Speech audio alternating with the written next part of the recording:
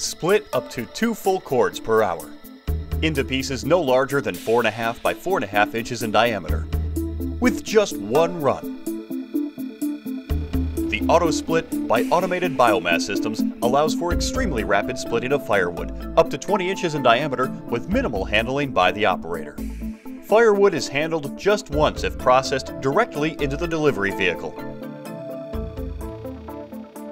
Automated Biomass Systems is an integrated manufacturer of firewood processing and handling equipment. We pride ourselves in providing innovative designs which are built to stand up to the abuses of the industry.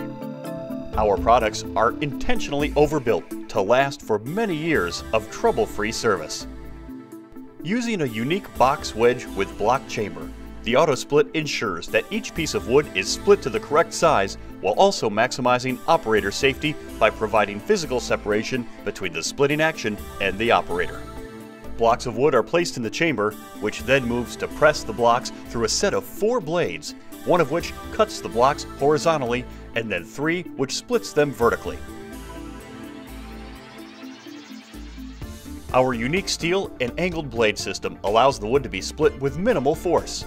Each piece can be no larger than 4.5 by 4.5 inches in diameter. This eliminates the need to re-split firewood to achieve the desired size. Our standard fines separator removes and separates fines from the firewood. Our 30-inch outlet height allows for easy mating with conveyors to further enhance productivity.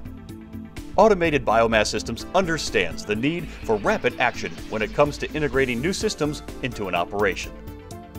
We strive to maintain a two-week lead time from order to ship date on all our products and maintain an inventory of some of our most popular items for same-week shipping. We use simple, unique design changes to bring our customers' productivity to unimaginable levels.